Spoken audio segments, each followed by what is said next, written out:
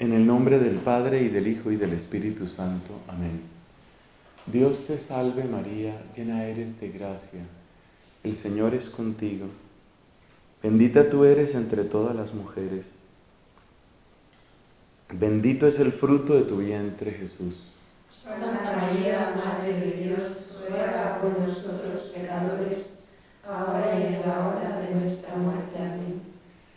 el nombre del Padre y del Hijo y del Espíritu Santo. Amén. A la luz de las explicaciones que hemos dado sobre la pobreza y sobre lo que significa el reino de Dios, uno se da cuenta que la obediencia no es tan complicada. En cierto sentido, es el voto más sencillo de todos, en cierto sentido.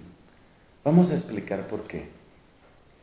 Porque fíjate que decíamos que el corazón del voto de pobreza está siempre en una disponibilidad que no se aferra a nada. Precisamente porque mi seguridad no está ni en un sitio ni en otro, es fácil obedecer si voy a un sitio o a otro. Precisamente porque mi corazón no está apegado a que tengo que hacer esto, soy disponible para hacer eso o para hacer otra cosa. O sea que la obediencia es sencilla, muy sencilla, si de verdad hemos captado lo que significa la pobreza. Porque el tener seguridad solamente en Dios hace que estemos disponibles para Dios. Aquellas expresiones de la gran santa de Ávila, eso de lo que quieras hacer de mí como tú quieras llevarme, esas expresiones son exactamente las que se necesitan para vivir la obediencia. O sea que una vivencia auténtica de la pobreza, entendida en ese sentido profundo, bíblico, místico, una vivencia profunda de la pobreza, ya nos sitúa en el terreno de la obediencia. Además, lo único que podría sacarme de esa lógica sencilla de la pobreza sería que yo mismo tuviera que ser la persona a quien se obedece. Pero ya acabamos de ver en el ejemplo de David que ni siquiera eso debe sacarme de la obediencia. Es decir, el hecho de tener gente a cargo, lo único que significa es una oportunidad en la caridad, es un camino definido en el servicio, pero no más que eso. ¿Por qué? no debo olvidar ser oveja si me nombran pastor y las demás explicaciones que dimos. O sea que la obediencia en realidad es muy simple y esto significa que todas las complicaciones de la obediencia provienen de qué? Pues de falta de disponibilidad. ¿Y la falta de disponibilidad de dónde viene? Pues de seguridades. Estoy buscando seguridades en un determinado oficio, con unas determinadas personas, en un determinado sitio, de una determinada manera. Eso que yo busco para tener seguridad, eso, eso, es lo que hace difícil la obediencia. Pero la obediencia en sí misma es, es simplísima. A mí me asombra la manera como dice Jesucristo. Yo hago siempre la voluntad del Padre. Lo dice como, como decir, hoy amaneció con esa misma simplicidad. La obediencia, yo, yo esto quiero que quede muy inculcado en el corazón. La obediencia es el más simple de los votos. Mucho más complejo es el corazón humano, ese sí es complejo. La parte de afectividad y todo esto sí puede ser complejo, que, que si hay apegos, no apegos, ahí puede ser más difícil. Pero la obediencia es lo más sencillo, es lo más simple. Y desde esa simplicidad le da una transparencia, le da una sencillez al corazón. Observemos que todo radica en esa palabra que aparece allá arriba, la palabra unidad. Es decir, si de verdad le damos el puesto que le corresponde a Dios, la obediencia no tiene ningún problema. Porque, ¿qué conflicto puede darse entre un súbdito que busca con todo su ser servir a Dios. Y un superior que no olvida que es súbdito de Dios. ¿Qué conflicto puede haber ahí? Ahí no hay conflicto. Pero el conflicto desaparece solamente cuando aparece esa búsqueda de unidad. Es decir, en la medida en que todos, superiores y súbditos, estamos buscando el querer de Dios, se da la unidad. Y con la unidad se da la obediencia. Pero ahí he puesto otra palabra, la palabra comunicación. Y esta última charla de nuestro curso, que resultó abreviado, bastante abreviado, esta última charla, pues tiene que ver precisamente con el tema de la comunicación. ¿Por qué? Porque una pregunta que uno puede hacerse es, ¿qué tanto debo yo decir lo que yo quiero? ¿Qué tanto interesa lo que yo deseo? O es decir, obedecer implica la desaparición de mis deseos, de mis ideas, de mis iniciativas. Esa es una buena pregunta. La obediencia no es la desaparición ni de los deseos, ni de las iniciativas, ni de las búsquedas personales. La obediencia no es la desaparición de la peculiaridad del sujeto. Obedecer no significa que desaparezca la riqueza del sujeto. Porque si desapareciera la riqueza del sujeto, quiere decir que el superior estaría como administrando cosas. Y la obediencia, el ideal de la obediencia no es la administración de cosas, es más bien el gobierno de personas. Las personas tenemos iniciativas, tenemos ideas, tenemos búsquedas, tenemos preguntas. Entonces ahí sí surge una pregunta, una pregunta genuina. El tema de la unidad, te repito, está claro. El tema de la unidad es que cada uno, desde la posición en la que se encuentre, busque con todo su ser la gloria de Dios, el reino de Dios, la voluntad de Dios. Así es sencillo, esa parte es sencilla.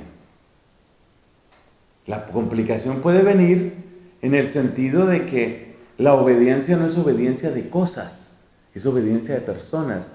Entonces, tanto el superior como el súbdito tienen que hacerse la pregunta de qué pasa con las iniciativas personales, los carismas personales, qué pasa con las inquietudes, las, sí, las iniciativas que pueden tener.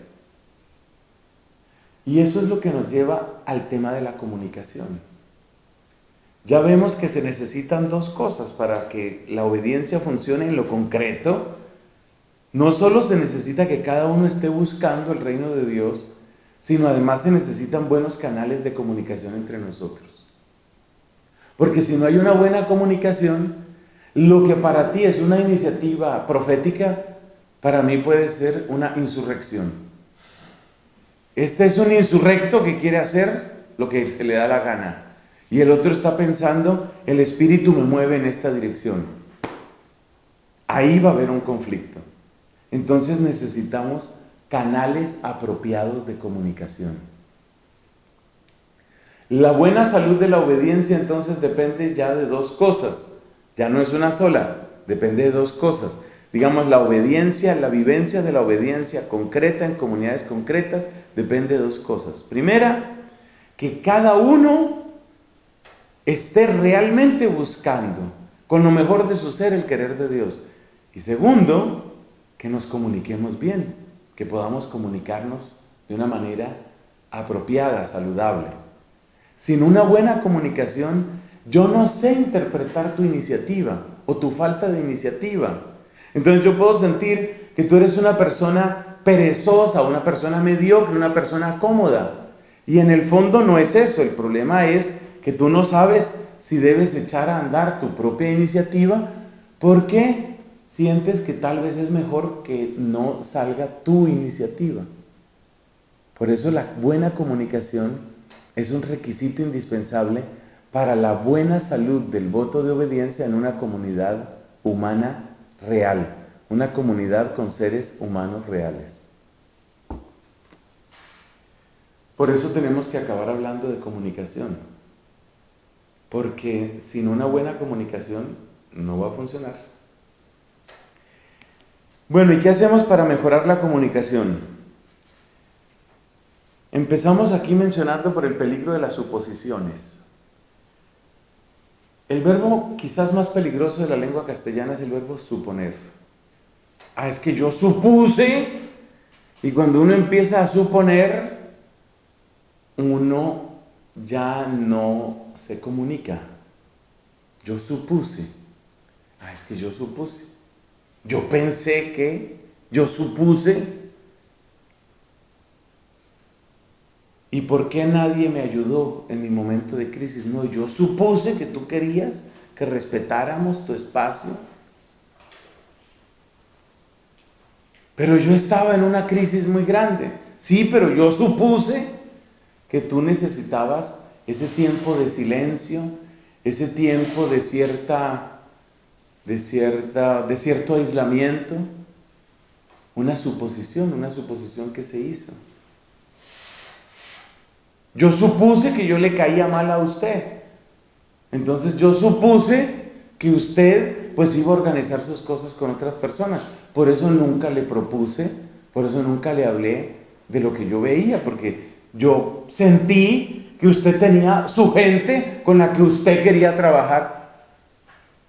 Pero no, no, no, yo necesitaba tu aporte. No, pero yo pensé, yo supuse que usted quería ir a trabajar con otra gente. Porque como siempre que me miraba, no sé, era como con una distancia, con una cosa. no, no, no, no era mi intención. Ah, pero yo supuse. Por eso, el verbo que hay que desterrar para empezar una buena comunicación, y esto tiene que ver con vida comunitaria, pero también tiene que ver con obediencia, es, ahí, es el verbo suponer. Hay que desterrar el verbo suponer. Porque en la medida en que uno supone, entonces uno imagina.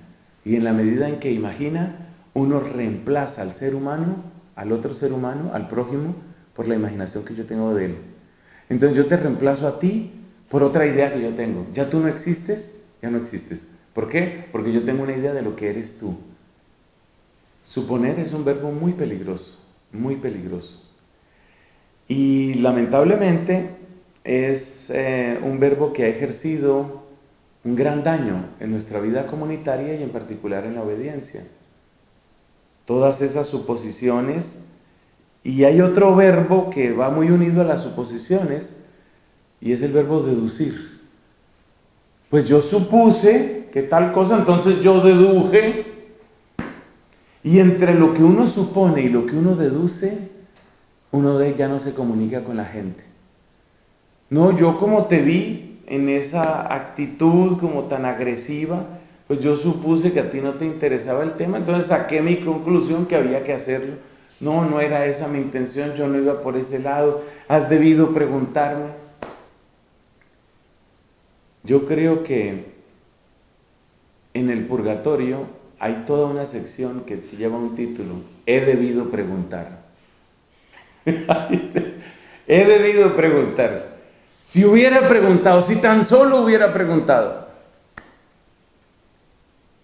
Decíamos al hablar de comunidad y al hablar de castidad, hablábamos de la necesidad de interesarnos por las otras personas Mire, uno puede ser muy bueno en eso de leer a las otras personas, leer sus intenciones, leer sus estados de ánimo, leer sus inquietudes, leer sus descontentos.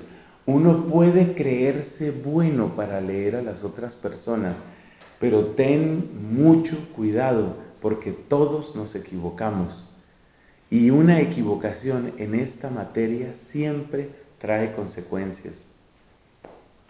Entonces, la primera advertencia para mejorar la comunicación es cuidado con las suposiciones y cuidado con las, con las deducciones, porque uno supone y uno deduce. Y cuantas más suposiciones y deducciones hace, menos se comunica. Y cuanto menor es la comunicación, en el fondo, mayor es el prejuicio y mayores son los bloqueos. Por eso necesitamos hacer toda una terapia, toda una catarsis, toda una catarsis, una limpieza de suposiciones. ¿Estaré viendo bien? ¿Estaré entendiendo bien? ¿Esto que yo estoy percibiendo es así? Yo tuve que hacer mi doctorado, bueno, lo hice con mucho gusto, estudiando a un gran teólogo jesuita del siglo XX, Bernard Lonergan, un canadiense, muy ilustre jesuita. Murió en el año 1984. Bueno, y este hombre tiene una epistemología, una teoría del conocimiento, un estudio del conocimiento humano muy interesante.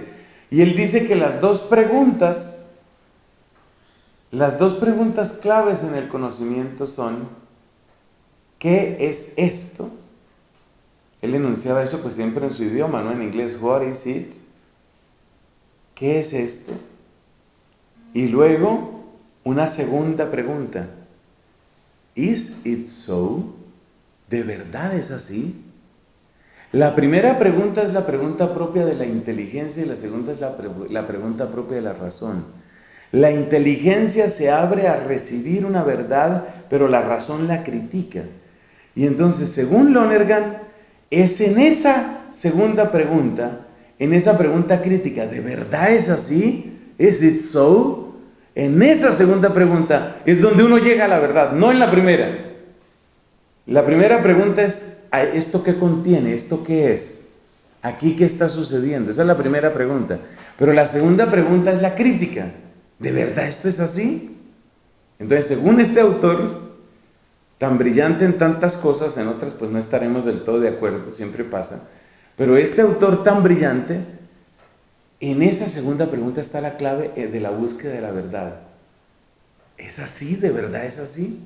Y esa es la pregunta que uno se le olvida hacer. Y por eso uno se queda en las suposiciones. Y por eso entonces uno imagina, a uno se le olvida hacer esa crítica. A mí me esa crítica de la propia opinión, esa crítica de lo que uno cree que es así. No, eso yo ya conozco. Esa es la peor frase. La peor frase es esa, no, eso ya lo conozco, yo eso lo conozco perfectamente, yo esa gente la conozco, yo esa comunidad la conozco, yo esa persona la conozco. En el momento en el que yo digo, yo ya conozco, en ese momento dejo de hacerme la pregunta, ¿de verdad es así? Y esa pregunta hay que hacerla y hay que hacerla varias veces. Una de las razones por las que quiero tanto a Teresa de Jesús es por su conversión tardía y porque ella después de su conversión, pues ella siguió en su comunidad. Y a mí eso me llama mucho la atención, porque a nosotros se nos olvida que las personas, también las personas con las que estamos viviendo, son personas en las que Dios está trabajando. Eso, si yo utilizara carteleras, o bueno, esos lugares donde se ponen avisos y cosas de esas, yo sí quisiera que hubiera muchas carteleras que dijeran eso en nuestros conventos, en nuestras comunidades. No se te olvide que Dios sigue trabajando en la misma gente que tú conoces. ¿Por qué? Porque cuando uno vive años y años con las mismas personas, mucho más si convive en la misma casa, pero aún en el caso de una provincia, eso es así, es lo mismo. Porque claro, imagínate, yo llevo 30 años, un poquito más en la vida religiosa, quiere decir que hay gente que conozco hace muchísimo tiempo.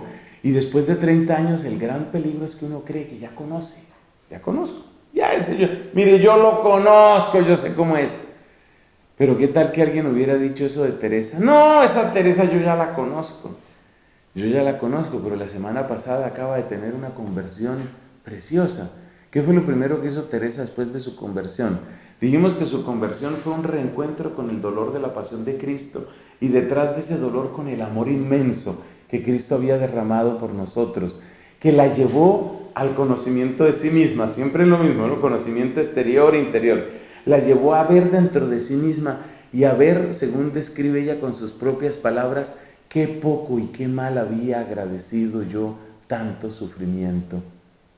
Qué pocas y mal derramadas lágrimas por mis pecados. Entonces ella tiene una conversión.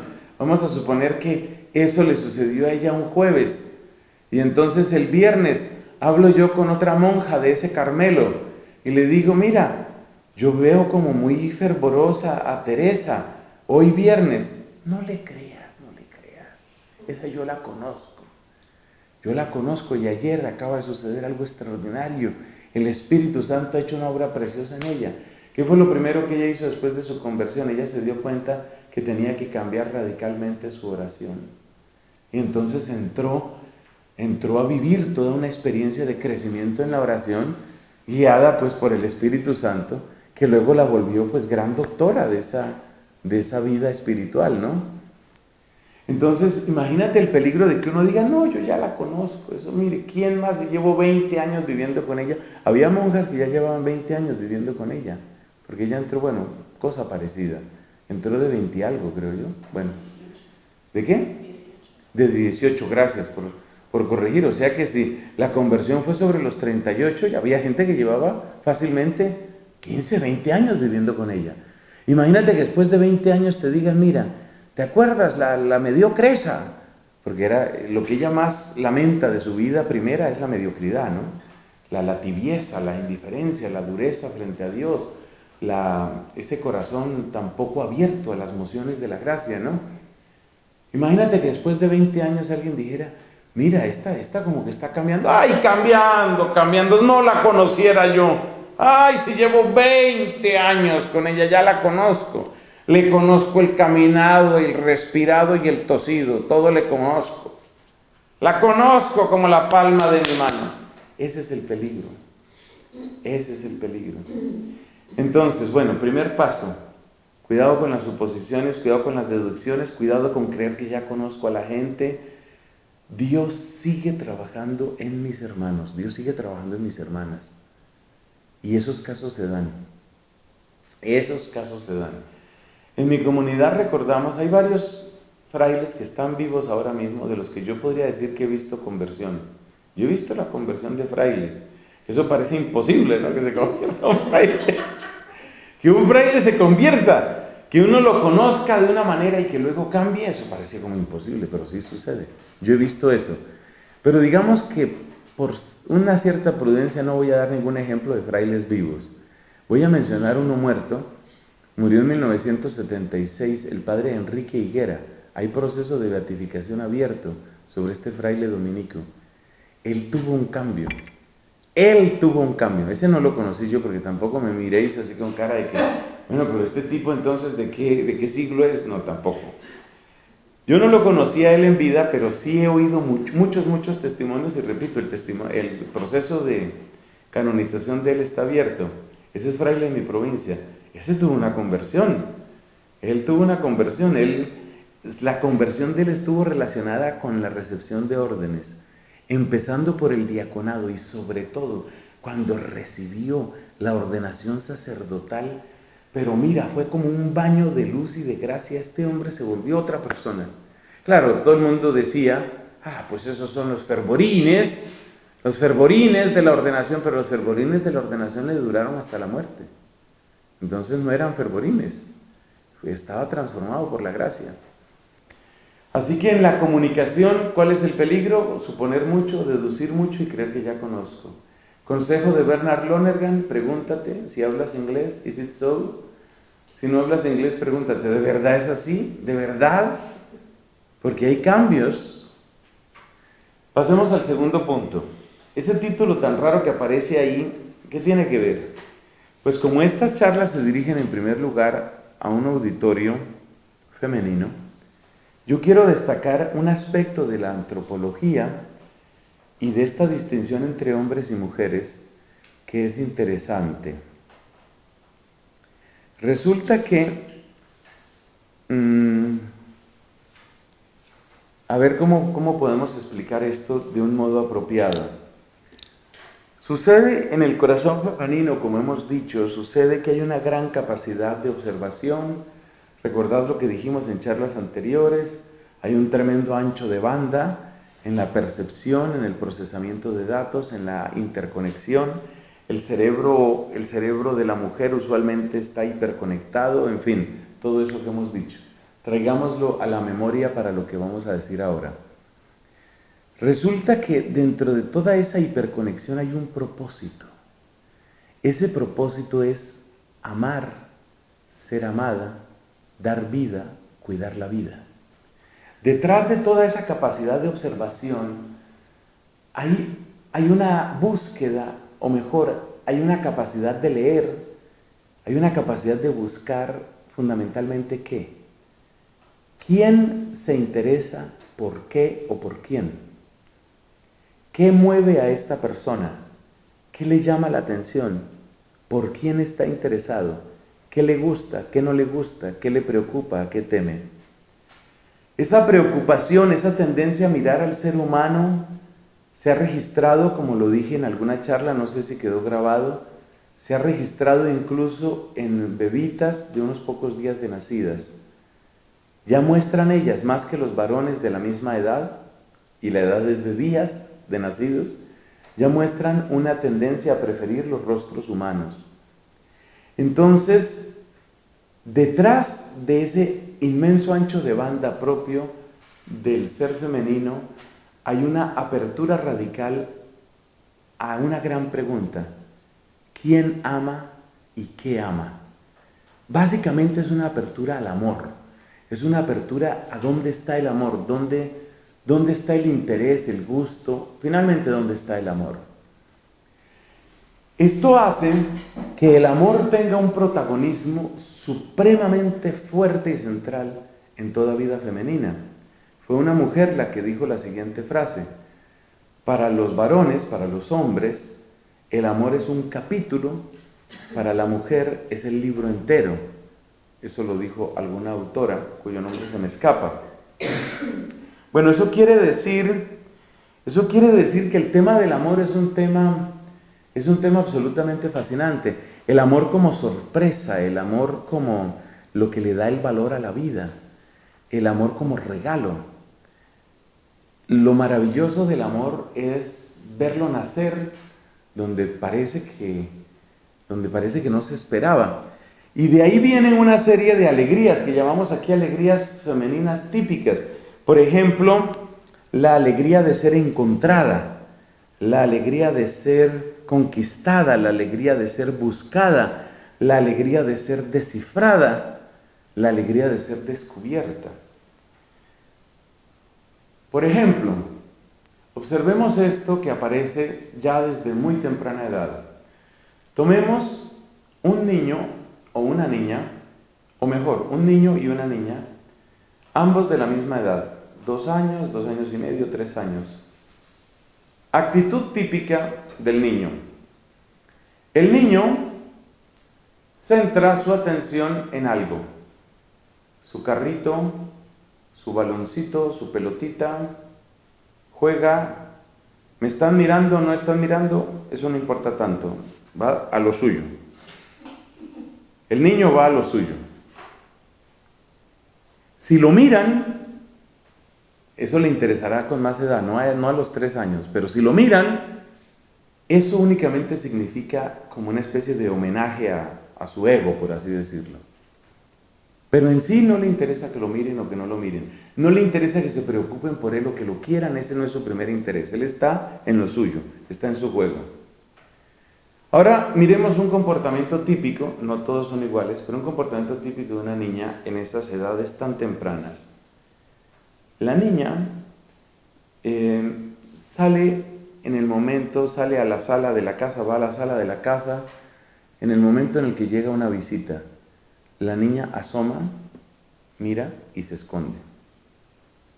Eso me ha llamado la atención toda la vida. Como yo no tuve hermanas, entonces me ha llamado muchísimo la atención esos seres llamados mujeres. Yo me pregunto, ¿por qué obran así? ¿Por qué es tan frecuente? Y, entonces a veces la niña, sobre todo si es pequeña y no domina ese arte de, obrar de modo encubierto, entonces uno mira a la niña y ve que la niña se asoma. Apenas ve que la están viendo, se esconde. Cuando ve que la ven, se esconde. Eso es una cosa interesantísima. Eso es fascinante. Hay niños que tienen ese comportamiento por otras razones, pero Singularmente la niña se da, obra de esa manera cuando se da cuenta de que hay como un cierto interés en ella, porque está bonita, porque está... ¡Ay, pero qué niña tan preciosa! Se esconde. ¿Por qué se esconde en el momento en el que se le dice que es una niña preciosa, que es una princesa muy linda? A todas esas cosas que se le suelen decir a las chiquitas. ¿Por qué se esconde en ese momento? Ese es un, uno de los misterios profundos. ¿Por qué se esconde? ¿Cuál es la razón de esconderse? Pues parece que una de las razones de esconderse es para asegurarse de si de verdad, de verdad, tienen o no tienen interés en mí. Luego esa misma niña, por ejemplo, crece y se vuelve adolescente y va a una reunión y en esa reunión pues hay muchachos y muchachas y resulta que hay un muchacho que a ella le llama mucho la atención. ¿Cuál es la manera típica de obrar de esta muchacha cuando está en la reunión, en esa reunión está el muchacho que a ella le llama la atención. Pues ella hace la misma operación que hacía cuando era más chiquita, es decir, aparece y desaparece. Es muy importante el desaparecer. ¿Por qué? Porque al desaparecer puedes saber si realmente hay un interés o no hay un interés de esa persona. Por ejemplo, si desaparezco, o sea, no puede ser muy fácil tiene que conquistarme. No puede ser muy fácil la cosa. ¿Por qué no puede ser tan fácil? Porque si es muy fácil, yo no sé si finalmente sí, me le interesaba yo a él o no. La única manera de saber si de verdad, de verdad el tipo estaba interesado en mí, la única manera es desaparecer un poco. Porque si yo desaparezco y pregunta, oye, ¿cómo es que se llamaba esa? ¿Cómo era que se llamaba? Eh, hipoplasia. Ah, pues esa, esa hipoplasia. Y tú no tienes, aquí dicen el móvil, ¿no? Allá decimos el celular. Y, tú no tienes el móvil de ella. Ah, pues sí, sí, te lo puedo conseguir. Eso dice una amiga. Y luego va y le cuenta, mira, preguntó por tu móvil. Esa es buena seña. Quiere decir que me escondí y me buscó. Esa es una alegría femenina típica. Porque es importante eso de que me busquen. Es importante porque eso demuestra que sí hay interés por mí. O sea, realmente sí me están buscando. Sí soy valiosa, sí soy querida. Eso es lo que significa. Bueno, toda esta... Alguien se estará preguntando qué tiene que ver esto con la obediencia. Pues tiene que ver muchísimo. Porque resulta que eso que forma parte de la psicología femenina, luego sucede en una comunidad de mujeres. Es decir, las mujeres, por su misma estructura, fácilmente se acostumbran a descifradme si podéis. Descifradme.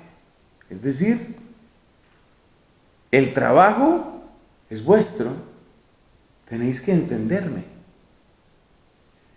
El gusto por ser, ¿cuáles son las palabras que tengo aquí? Descubierta, conquistada, descifrada, hace que usualmente la comunicación no sea sencilla. Antes de volver al caso de las comunidades religiosas femeninas, recordemos algunas historias de otras mujeres, mujeres que tienen, por ejemplo, pues su pareja. Y, ¿Y por qué no me llamaste ayer? Ayer, ¿por qué no me llamaste? Le pregunta ella con visible disgusto a, su novio, por ejemplo. ¿Y ayer por qué no me llamaste en todo el día? No sé, pues yo te vi tan disgustada anteayer que dije, pues dejarla que se le pase. No, pero tú has debido preguntarme. Entonces yo me he podido morir, pues. He podido morir y tú no haces nada. ¿Qué quiere decir esa conversación? ¿Qué estaba haciendo ella? me estoy escondiendo y él tiene que entender, tiene que entender que me tiene que buscar. Eso es lo que se llama una comunicación indirecta. Él tiene que entender. Tenía que haber entendido eso. A veces esto genera una cantidad de chistes muy, muy graciosos, por lo menos para mi gusto, pues que le he gastado tiempo a este tema, ¿no? Esto genera unos chistes muy graciosos. Por ejemplo, si le preguntas a, una mujer, ¿qué le pasa? Y te responde, nada, quiere decir que le está pasando de todo. Esa es comunicación indirecta, sobre todo hay que deducirlo del tono. Le pregunta él a ella, mi amor, ¿te pasa algo? Nada. Ese nada es una bomba de tiempo. Está sonando tic, tic, tic, tic. Él tendría que entender que si ella le dice nada, así como le dijo ese nada, en realidad lo que le está diciendo es, averigua, busca. Ese es el gusto de ser encontrada, de ser averiguada, de ser descifrada. Averigua, busca. Pero si pasa algo, tú sabrás, dice ella. Tú sabrás. ¿Qué significa tú sabrás? Tú sabrás. Y ahí es donde el tipo queda. ¿Y ahora yo qué hago? ¿Qué será? ¿Qué hice? ¿Será que se me olvidó el cumpleaños de la mamá? ¿Será que estábamos de aniversario? Eh, ¿Será que no le pregunté más por su salud? Eh, ¿Será que fracasó en el asunto del trabajo ese que me dijo? El pobre tipo está tratando de revisar todo su disco duro para ver qué será lo que se le olvidó. Mientras tanto, ella solamente dice, tú sabrás. ¿Tú sabrás qué quiere decir? Descíframe, descíframe, encuentra. No se supone que, en el fondo lo que le está diciendo a la mujer es, no se supone que soy muy importante para ti, y no se supone que tú me conoces bastante, y no se supone que me conoces mejor que cualquiera, tú deberías entonces saber lo que me está pasando. Y si eres tan torpe para no saber qué es lo que me está pasando, deberías por lo menos averiguarlo. Entonces, ¿no pasa nada? No. Ese no ya significa, mira, guerra nuclear. Sí, ahora sí, y eso es lo último. Lo que pasa es que las mujeres que entran a los conventos, pues no tienen novio, no hablan de esa manera con el novio, pero siguen siendo mujeres. Entonces fácilmente esas costumbres, la costumbre de descíframe, descíframe, tendrías que darte cuenta, muestra otro poco de interés en mí para ver si te cuento qué me pasa.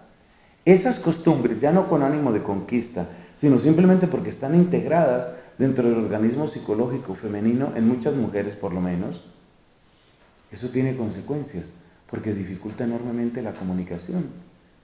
Entonces se vuelve un problema muy serio, porque entonces es descíframe y aquí te das cuenta la otra cara de las suposiciones. Vamos a ponerlo así por vía de ilustración, no es ninguna alusión a la situación de aquí, porque yo no conozco la situación de aquí, yo lo que veo me parece todo muy bueno, muy ordenado, muy bello. Pero vamos a, poner esta, para que se entienda, vamos a poner esto en términos de una maestra y una novicia, ¿sí? Por suponer, como puro ejemplo. Imagínate el peligro de una maestra que supone mucho y una novicia que está esperando a que la descifren. La novicia esperando a que me entiendan es que deberían entenderme y es muy frecuente que esto pase.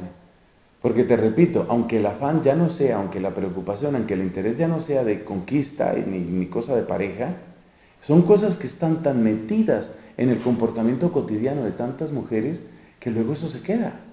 Y luego eso se queda quiere decir que también en la vida comunitaria pasa.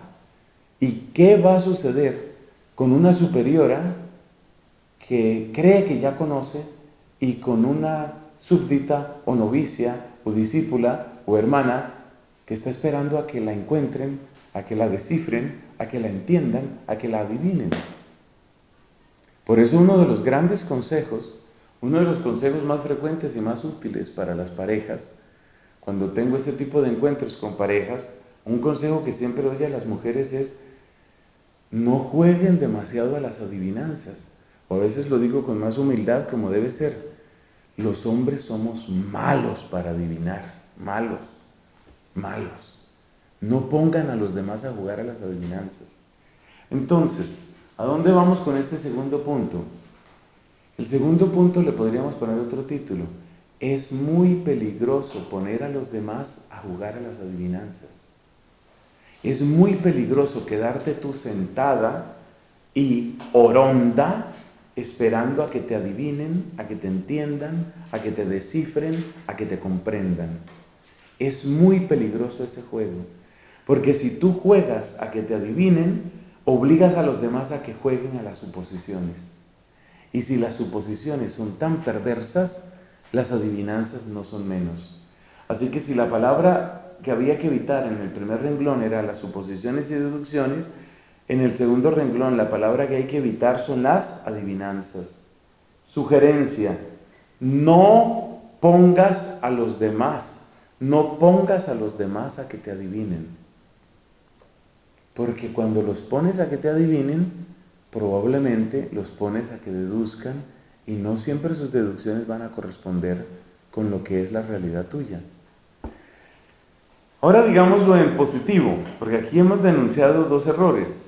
El error por parte del sujeto cognoscente es suponer demasiado, deducir demasiado.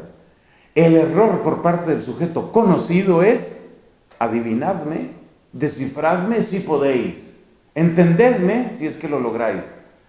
Ese juego no. No juguemos a las suposiciones, sino juguemos a las adivinaciones. Entonces, en positivo, ¿eso cómo se dice? Si no voy a jugar a las suposiciones, quiere decir que voy a propiciar un ambiente en donde yo hago preguntas. En donde yo hago preguntas. Preguntas que serán oportunas, discretas, caritativas. Por eso decíamos que una de las claves era aquello de a tiempo, ¿no? Que todo sea a tiempo. Si no vamos a jugar el juego de las suposiciones, ¿qué quiere decir? Que vamos a preguntar. De un modo, repito, respetuoso, caritativo, oportuno, pero hay que preguntar para no suponer. Correcto. Y el segundo era las adivinanzas. Si no voy a poner a los demás a que me adivinen, entonces, ¿qué tengo que hacer? Pues tengo que expresarme. Pero expresarme es un verbo demasiado amplio. Entonces me gusta este otro verbo. Verbalizar.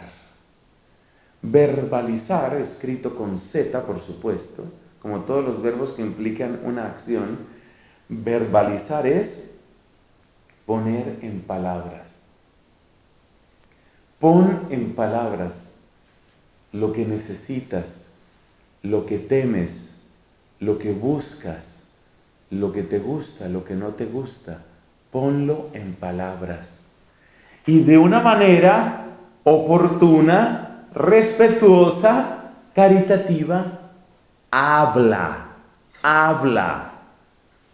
No esperes a que si yo hago, a ver, si tuerzo otro poco la boca, se supone que deben entender que estoy, porque cuando yo le torcía la boca hacia mi mamá, ella entendía que estaba mal. Ahí viene la maestra.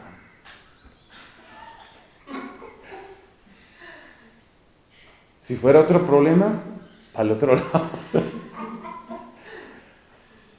No pongas a la gente a que te adivine, verbaliza, habla.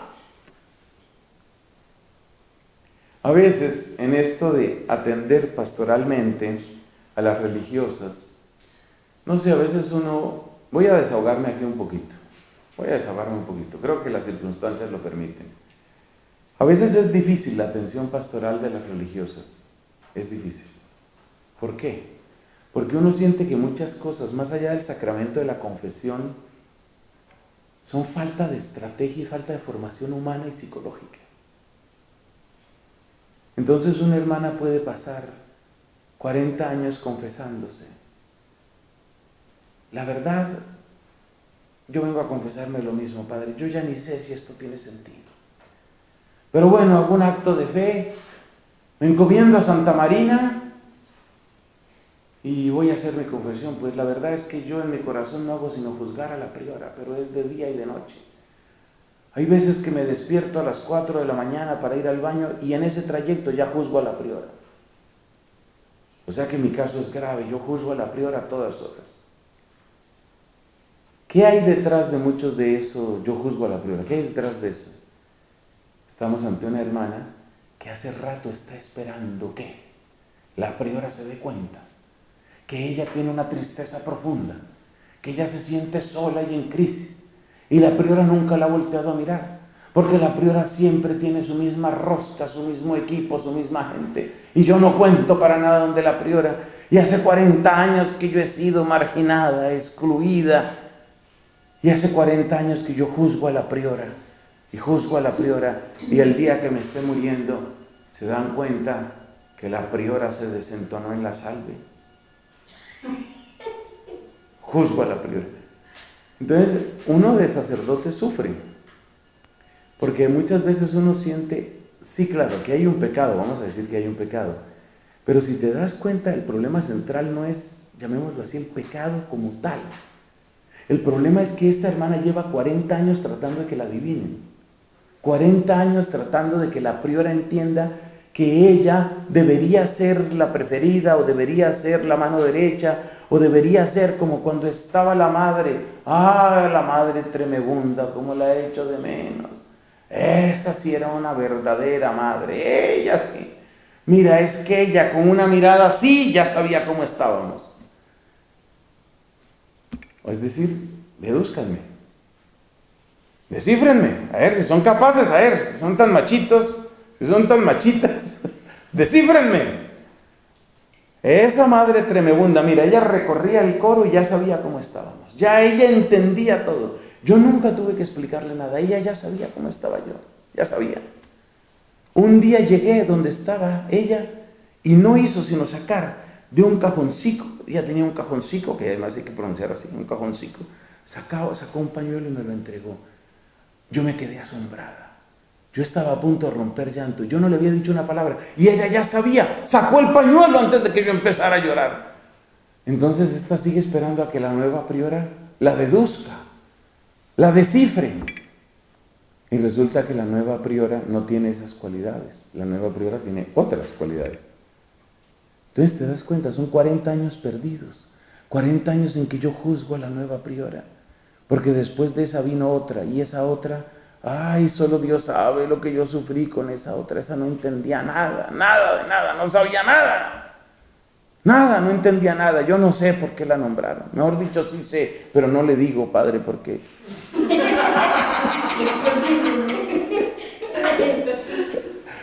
y entonces, y todo es descifrenme, descifrenme, encuéntrenme, deduzcanme. No, terrible. ¿Cómo se mejora la comunicación? Con preguntas respetuosas, caritativas y oportunas y con palabras respetuosas, caritativas y oportunas. Entonces no partas de la base de que tienen que entenderte y tienen que darse cuenta como son todas las novias con todos los novios. Pero, pero, pero, pero, y, es, tan conmovedor, ¿no? Ver a los pobres tipos que además no saben nada de leer caras ni nada nada, ¿no? Ver a los pobres tipos, pero, pero mi amor, en serio, ¿qué es lo que te pasa? Tú sabes, tú sabes o no sabes. y el pobre tipo allá sufriendo, sudando frío.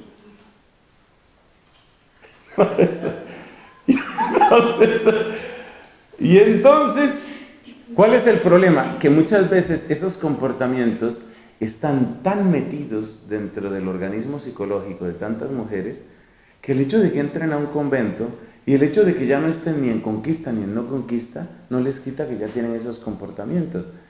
Entonces, ¿cuál es la corrección? Ya dijimos, ¿no? Preguntas oportunas y hablar a tiempo. Terminamos esta reflexión con algunas cualidades necesarias, que es muy simpático porque nos hace recordar el Tratado de Virginitate de San Ambrosio de Milán cuando hace tanto énfasis en la humildad. Necesitamos para mejorar nuestra comunicación, además de las preguntas y de las palabras oportunas y caritativas, necesitamos humildad. Humildad para decir no sé. Humildad para decir no sé. No sé significa me toca averiguar, me toca preguntar. Necesitamos humildad. Humildad para decir no sé.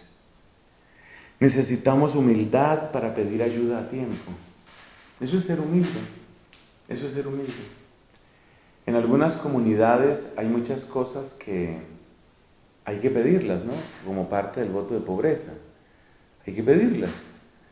Y, uy, eso cuando uno llega del mundo, eso cómo cuesta. Eso cómo cuesta, eso de tener que pedir aún las cosas más elementales, que necesito una crema dental o dentífrico, creo que llaman eso. Necesito un dentífrico. Y eso de pedir, mira que es que necesito un dentífrico, eso cuesta. pero se necesita humildad para pedir la crema dental y se necesita humildad para pedir ayuda. Necesito ayuda. No estoy pudiendo, no estoy entendiendo. Eso, eso requiere mucha humildad, pero eso es lo que nos hace comunidad y eso es lo que mejora la comunicación. Y acuérdate que la obediencia es simple, yo insisto en eso. La obediencia no es complicada, solo se necesitan dos cositas. Que de verdad estemos buscando el reino de Dios, que de verdad Cristo esté en el centro, que de verdad nos interese, que de verdad lo estemos buscando a Él. Y luego la comunicación. Es decir, que no juguemos ni a las suposiciones ni a las adivinanzas. Con esas dos cosas ya está el voto de obediencia. No es tan difícil, no es difícil. Bueno, más humildad dentro de las cualidades necesarias, porque todas van a ser humildad, mira. Humildad para decir no sé, lo cual significa necesito preguntar, necesito averiguar, necesito entender. Yo tal vez no estoy entendiendo bien a esta persona, tal vez no la estoy entendiendo bien. Se necesita humildad para disculparse sin un torrente de justificaciones. Eso sí que le admiro yo a esta cultura. Eso me encanta de la mayoría, mayoría, mayoría de los españoles que conozco y españolas, claro. Me gusta que el lenguaje es mucho más sencillo a la hora de unas disculpas o de una gratitud. Mira, discúlpame, no sé, se me fueron las luces, perdona, ya está. En mi país y en otros que yo conozco, la tendencia es que cuando nos vamos a disculpar es, mira, discúlpame, pero es que ese día a mí me pasaba, pero es que yo sentía, pero es que... Entonces al final termina con tantas explicaciones que casi el otro le tiene que decir, no, más bien discúlpame tú a mí, que es en el fondo lo que está esperando la persona. Se necesita mucha humildad para pedir unas disculpas sin justificarse uno. Simplemente me equivoqué, yo no he debido obrar así, mm, tal vez era un momento malo para mí, disculpa. Eso, esa sencillez al disculparse, tú no te imaginas lo que alivia la comunicación. Tú no te imaginas lo que simplifica la vida, unas disculpas así. Pero, pero a veces eso cuesta trabajo. Yo le hago un paralelo con lo que sucede cuando algunas personas se van a confesar. Resulta que se van a confesar, pero dan tantas explicaciones que al final uno siente impulso de decir, mire, bravo, hay que darle un aplauso de lo bien que obró. Tanto explican las razones por las que se equivocaron que al final uno dice, no, no, es que no tenía otra manera, no, no había otra cosa que hubiera podido hacer. O sea, realmente es un campeón, es un héroe. Lo que logró hacer en medio de tantas dificultades, la confesión es la confesión. La confesión no es para entrar con las justificaciones de uno. La confesión es para decir uno donde uno ha fallado, donde uno ha pecado. La confesión debe ser algo muy simple, muy sencillo, muy directo y muy al punto. Otra cosa es una conversación espiritual, una dirección, lo que sea. Pero la confesión en sí misma es simple. Decir lo que se iba a decir estaba diseñando un atentado contra la priora. Me acuso de eso, ya está. Quedó, quedó acusado el pecado. Bueno, sigamos mejor. Entonces, humildad para disculparse, sin añadir el pocotón de justificaciones y de explicaciones. Lo que hiciste mal, lo hiciste mal y ya está. Eso alivia la vida. Humildad. Humildad para no llevar toda conversación hasta el último veredicto. Hay esa frase tan complicada. Humildad para no llevar la conversación hasta el último veredicto. ¿Por qué digo eso? Lo digo por propio conocimiento, porque he pecado muchas veces en eso. Como a mí me encanta el mundo de la filosofía y de la discusión y la dialéctica, muy fácilmente un pecado que una persona como yo comete, pero otros también. O sea, yo no es que me esté justificando, pero la verdad, Pecado que uno comete. ¿Cuál es el pecado que uno comete? El pecado que uno comete es llevar toda discusión hasta que se demuestre que yo tenía la razón. Mira, de las cosas que más rompen la buena comunicación es llevar las discusiones hasta que el otro entienda. Es decir, es hasta que llore, se desmaye o admita. alguna de las tres, tiene que pasar, hasta que admita que estaba equivocado. Y ese llevar las discusiones, como dice aquí, hasta el último veredicto hace un daño muy grande. Muchas veces, muchas veces, es mejor entender que hay cosas que no se van a ganar con discusiones. Eso no es fácil, pero eh, yo tengo un ejemplo bíblico de uno que era maestro en discusiones. Se llama Pablo de Tarso. Pablo de Tarso se formó toda su vida para discutir, porque él no hizo otra cosa en su vida sino estudiar y estudiar y estudiar escritura en la escuela de Gamaliel. Y esas eran escuelas de argumentación, eran escuelas para demostrar que tu interpretación de la ley, esa es la que es, esa es la que es.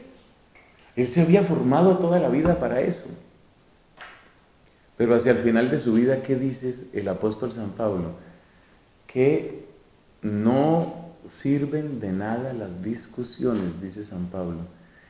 Saber cuándo una discusión va a dar un buen fruto, es decir, va a ayudar a que se descubra la verdad de las cosas y se le dé gloria a Dios, o cuando una discusión realmente va al barranco, va al desastre y lo único que va a producir es desgarramiento dentro de la comunidad, tener esa sabiduría no es fácil.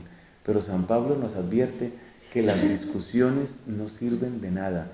Entonces, el pretender uno llevar una discusión hasta el último veredicto, es decir, hasta que se sepa si yo finalmente estaba equivocada o estaba en lo correcto y tú estabas equivocada, y es hasta el llanto la admisión o el colapso. El pretender llevar las discusiones hasta el último extremo hace un daño muy grande. Entender que no todas las discusiones tienen que llegar hasta su última conclusión no es tan fácil, no es tan fácil. Yo tengo la fortuna de que he contado en mi comunidad con gente de mucha sabiduría en esto y yo he visto, yo he visto hermanos míos que han tenido la prudencia de saber cuándo detener una discusión, es decir, cuándo no se va a sacar más de una discusión, llegará el momento en el que las cosas se entenderán mejor, pero no todo tiene que entenderse ahora. Es decir, no es una renuncia a la verdad, es más bien entender que la claridad en algunas personas y en algunos temas no llega siempre cuando uno quisiera que llegue. Entonces, cuando uno se aferra a una discusión, es como si uno quisiera obligarle a la verdad a resplandecer ahora. Ahora es cuando tiene que aparecer la verdad. Y tal vez no. Hay cosas que solo con el tiempo la persona va a entender. Jesús mismo dijo, tendría muchas más cosas que deciros, pero no podéis cargar ahora con ellas. Ese entender que no toda discusión hay que llevarla hasta su última conclusión, que no hay que ganar todas las discusiones, que la verdad también llegará a ese corazón por otro lado, por otro camino, con otra predicación. Esto lo suelen saber los padres de familia. ¿Por qué? Porque muchas veces se encuentran cuando hablan con sus hijos, sobre todo adolescentes, se dan cuenta que llega un momento en el que ya no vale decirle más, ya no hay manera de decirle más. Y luego van a un retiro espiritual, o se lo dice un amigo, o se lo dice un sacerdote, o se lo dice alguien, exactamente lo mismo que le dijo el papá, y ahí sí entendió, y ahí sí lo admitió. Entonces uno tiene que saber que la voz de Dios y la voz de la verdad no necesariamente tiene que darse a través de mí y en el momento que a mí me gusta. Quiere decir que yo tengo que estar dispuesto a, entre comillas, perder, entre comillas, perder algunas discusiones. Uno no tiene que admitir aquello de lo que no está convencido, pero uno sí puede hacerle ver a la otra persona, mira, hay un punto en el que no vamos a sacar más de esto, yo creo que por ahora dejemos así, ese saber detenerse y ese saber preservar el bien de la comunidad para que no se rompa la comunicación, entendiendo que Dios puede valerse de otros caminos para iluminar a ese hermano o a esa hermana, eso toma tiempo y eso toma mucha sabiduría. Usualmente quienes somos o éramos, porque ya que somos ni que nada, los que, los que éramos jóvenes, cuando éramos, por allá, en otra época, que yo me acuerdo que uno casi ni se enfermaba ni nada, en esa época en la que uno casi no se enfermaba, yo me acuerdo que en esa época era muy importante eso de ganar las discusiones. Y uno se siente, sobre todo si uno ha estudiado algo, ¿no? Uno siente que con, con, las cuatro horas de catecismo que leyó y con las tres horas de suma teológica que tiene, ya uno con eso, bueno, que me manden los enemigos, pero de a uno, que yo aquí los acabo. Y luego se da uno cuenta que ese no es el camino. Luego se da uno cuenta que muchas, pero muchas cosas hay que dejar que sea el tiempo que las vaya aclarando. Eso es lo mismo que en su lenguaje a veces ambiguo dice el Papa Francisco, el tiempo es superior al espacio. Porque el espacio es cuando yo intento asegurar este espacio. Aquí, aquí, tiene que quedar claro quién es el que tiene la razón, si usted o yo, aquí, ahora. El Papa Francisco dice, no todas las cosas funcionan así. Muchas cosas hay que dejarlas al tiempo. Hay que dejar que sea el tiempo el que aclare.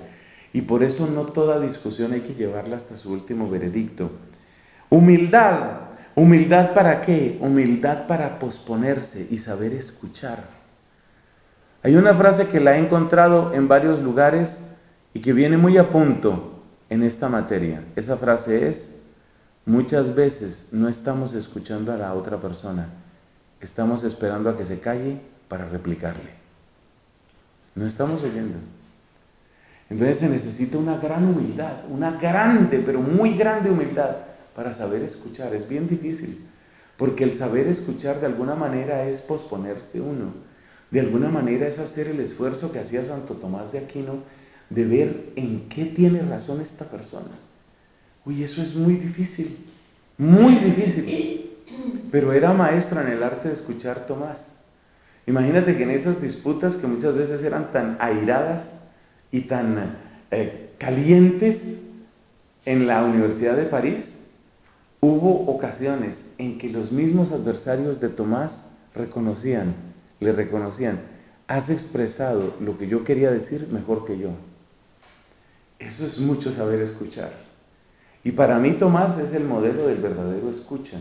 Saber escuchar a una persona es llegar a un punto en el que yo pudiera expresar casi mejor que él o que ella, casi mejor podría expresar lo que la persona está viviendo, o la preocupación que tiene, o lo que no le gustó, o lo que está pensando. Eso es saber escuchar. Saber escuchar no es saber replicar. Saber escuchar es saber expresar de un modo todavía mejor que el otro lo que él quiere decir.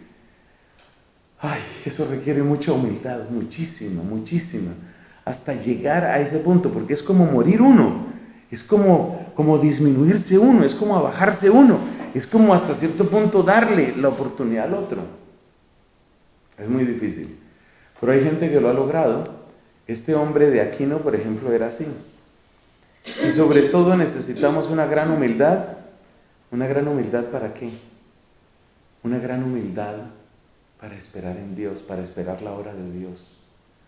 Una gran humildad para entender que la comunión y la comunidad y la comunicación son fundamentalmente dones.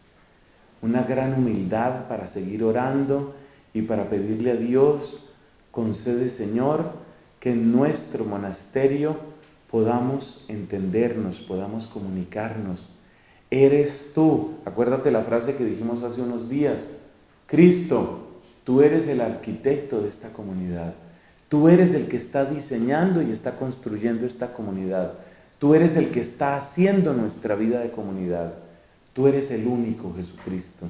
Tú eres el que nos está construyendo esa, esa humildad para esperar la obra de Dios no es fácil, pero todas esas humildades que he descrito, a ver, las, las leemos aquí de corrido.